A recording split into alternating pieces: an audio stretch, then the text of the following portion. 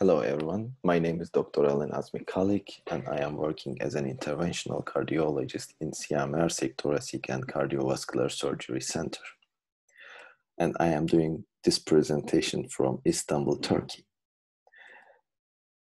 Today, I will have the pleasure to present our challenging case, but before starting, I would like to thank Cardiovascular Innovations Foundation, organizers, and directors for creating such a prestigious digital scientific environment. Our case is the percutaneous closure of a complex fistula which originates from all coronary arteries and drains to the pulmonary artery. Today, I am also going to demonstrate our retrograde solution to tackle this giant fistula. Our case is a 60 year old female, and in her relevant history, her LAD was stented with, with a regulating stent in 2013. After two years, she had a surgery for to pulmonary artery fistula.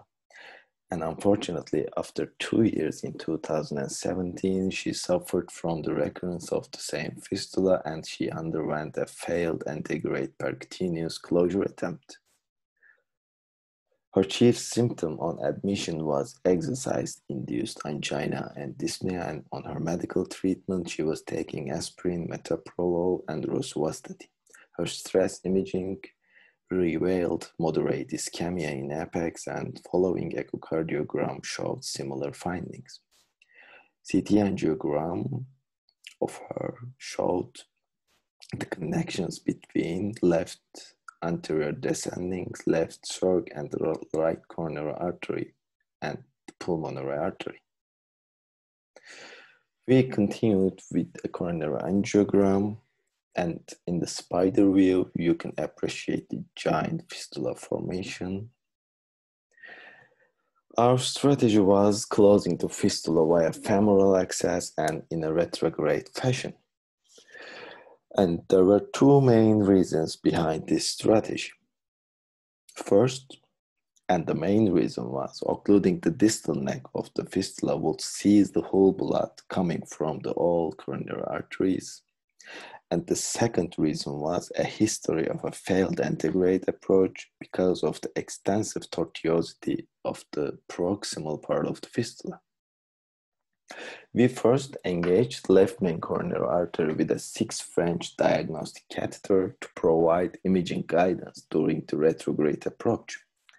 Then, through the right femoral venous access, we advanced a 5 French long guiding sheath over a guide wire to engage the distal neck of the fistula.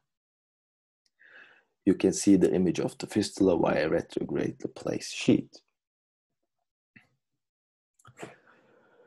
After deciding the appropriate size of the closure device, we cautiously delivered the Amplatzer duct occluder device 6 by 6 in a retrograde fashion, and we did this with the help of antegrade imaging. Before releasing the device, we did a tug test and we confirmed the stability of the device. Before finishing the procedure and after waiting 5 to 10 minutes, we took our last shots and we confirmed that the total occlusion of the fistula.